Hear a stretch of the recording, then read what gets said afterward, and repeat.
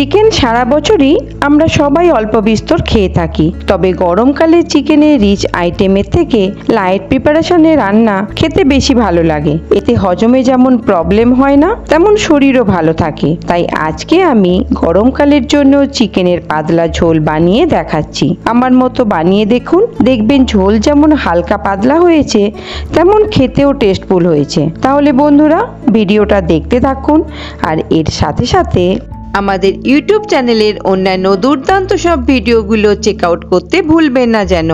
Subscribe করে bell বাটনটি click করুন আমাদের চ্যানেলে নতুন ভিডিও সবার আগে পাওয়ার জন্য। আমি মল্লিকা, আপনারা দেখছেন blog force dot com YouTube channel.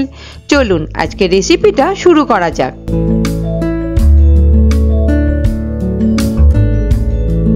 আজকে চিকেনের পাতলা ঝোল বানাবার জন্য আমি ছশো গ্রাম চিকেন নিয়েছি।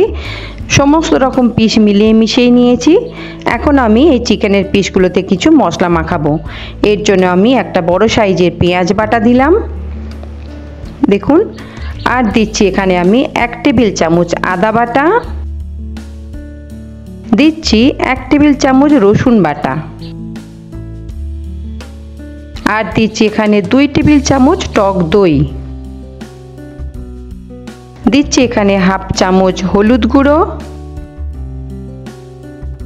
প্রায় এক চামচের কাছাকাছি লঙ্কা গুঁড়ো অবশ্যই সমস্ত কিছু টেবিল চামচের হিসাব, প্রায় এক চামচের কাছাকাছি ধনে গুঁড়ো, হাফ চামচ গোলমরিচের গুঁড়ো,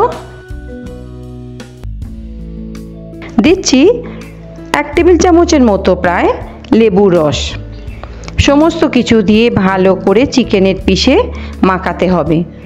সমস্ত মশলা ভালো করে চিকেনের পিসে মাখিয়ে নিতে হবে যাতে প্রত্যেকটা পিসে ভালো করে মশলা লেগে যায় দেখুন, আমার চিকেনগুলোতে মশলা মাখানো হয়ে গেছে এখন আমি এটা আধ ঘণ্টার জন্য ম্যারিনেট করব। আমার আধ ঘণ্টা হয়ে গেছে, এবার আমি রান্নাটা শুরু করতে যাচ্ছি।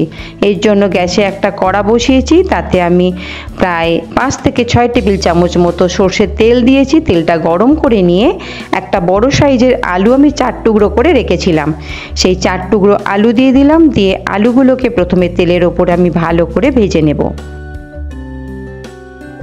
আলুগুলো আমার ভাজা হয়ে গেছে, আলুগুলো এবার তুলে নিচ্ছি। এখন আমি চারটে বড় টুকরো টুকরো পেঁপে কেটে রেখেছিলাম, চারটে বড় টুকরো করে। সেই পেঁপের টুকরোগুলো দিয়ে দিলাম। পেঁপের টুকরোগুলো কিন্তু বেশ বড় সাইজ করে কেটে রেখেছি। এবার এই পেঁপের টুকরোগুলো ভালো করে ভেজে নিয়ে তুলে নিচ্ছি।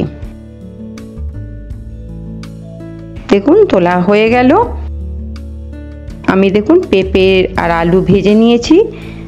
এখন যে তেলটা আছে, ওই তেলেই আমি বাকি রান্নাটা করব। এখন আমি এতে দিচ্ছি একটা বড় সাইজের পেঁয়াজ কুচোনো। পেঁয়াজ কুচোনোটা দিয়ে একটু ভালো করে নেড়ে চেড়ে নিয়ে একটু নরম করে নেব। পেঁয়াজটা একটু নেড়ে চেড়ে নরম করে নিলাম। নিয়ে এখানে আমি দিচ্ছি হাফ চামচ রসুন বাটা, হাফ চামচ আদা বাটা। আর দিচ্ছি একটা বেশ বড় সাইজের টমেটো। আমি সরু সরু ফালি করে কেটে রেখেছিলাম, সেই টমেটো দিয়ে দিলাম। টমেটো, পেঁয়াজ আর আদা রসুন একসঙ্গে ভালো করে তেলের ওপর কষিয়ে নিচ্ছি। খানিকক্ষণ কষিয়ে নেবার পর আমি এবার চিকেনের পিসগুলো তুলে দিচ্ছি। চিকেনের সমস্ত পিসগুলো তুলে দিলাম, দেখুন পিসগুলো বড় বড়ই আছে। দিয়ে এবার ভালো করে একটু নেড়ে চেড়ে রান্না করব। কিছুক্ষণ এভাবে একটু নেড়ে চেড়ে রান্না করতে হবে।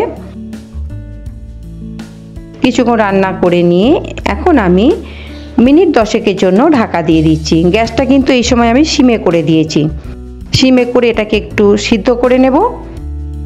দেখুন, চিকেনে বেশ খানিকটা জল বেরিয়েছে। এখন আমি এতে একটু লবণ দিচ্ছি। প্রায় এক চামচ মতো লবণ দিলাম। আর হাফ চামচ মতো লঙ্কা গুঁড়ো দিচ্ছি। এটা অবশ্যই কাশ্মীরি লাল লঙ্কার গুঁড়ো। আর সামান্য একটু হলুদ গুঁড়ো দিচ্ছি। কাশ্মীরি লাল লঙ্কার গুঁড়োটা দিলাম কালার হওয়ার জন্য। দিয়ে এবার ভালো করে আমি এটাকে আবার কিছুক্ষণ নাড়িয়ে চাড়িয়ে রান্না করব। একটু রান্না করে নিয়ে আবার আমি ঢাকা দিয়ে দিলাম মিনিট পাঁচ সাতেকের জন্য। গ্যাসটা কিন্তু আমি সিমে করে দিচ্ছি। যখনই আমি ঢাকা দিচ্ছি, গ্যাস কিন্তু আমি সিমে রাখছি। দেখুন, চিকেনে কিন্তু আরও বেশ খানিকটা জল বেরিয়েছে। এইবার আমি ভালো করে নাড়িয়ে চাড়িয়ে এটাকে কষিয়ে নেব। চিকেন কিন্তু আগের থেকে কিছুটা নরম হয়ে গেছে। এবার এটাকে আমি নাড়িয়ে চাড়িয়ে ভালো করে কষিয়ে নিচ্ছি। দেখুন, কষিয়ে নিয়ে আমার মশলা থেকে তেল ছেড়ে দিয়েছে, কি চিকেনটা আমার কষা হয়ে গেছে। এখন আমি ওই চিকেনের বাটি ধুয়ে একটু জল দিয়ে দিচ্ছি।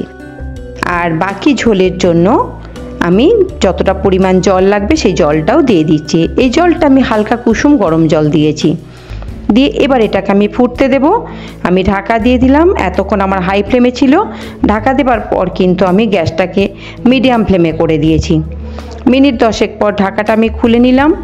আমার চিকেনগুলো মোটামুটি সিদ্ধ হয়েই এসেছে আর একটু বাকি আছে। এই সময় আমি আলু আর পেঁপে যেগুলো ভেজে রেখেছিলাম সেইগুলো দিয়ে দিলাম।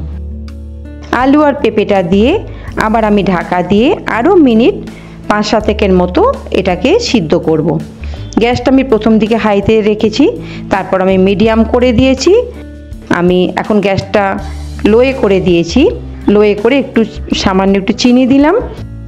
আর গ্যাসটা এই সময় আমি আবার হাইতে করে দিয়েছি, দিয়ে চিনিটা দেওয়ার পর একটু ফুটিয়ে নিয়েছি, তারপর গ্যাসটা অফ করে দিয়ে আমি একটু ঘি গরম মশলা দিলাম। ঘি গরম মশলা দিয়ে আমি মিনিট দুয়েকের জন্য ঢাকা দিয়ে রাখব। আমার রেডি হয়ে গেছে চিকেনের পাতলা ঝোল। দেখুন, ঝোলটা কিন্তু বেশ পাতলাই হয়েছে এবং খেতেও খুব ভালো হয়েছে, খুব ঝালও হয়নি, খুব রিচও হয়নি, একদম গরমকালের জন্য পারফেক্ট ঝোল হয়েছে। আপনারা এইভাবে করুন, দেখবেন খেতেও ভালো লাগবে আর খেয়ে শরীর খারাপও করবে না। এটা খুবই পাতলা কিন্তু টেস্টফুল তাহলে আজকের মতো চলি, আবার দেখা হচ্ছে নতুন কোনো রেসিপির সঙ্গে। ততক্ষণ ভালো থাকুন, সুস্থ থাকুন, নমস্কার।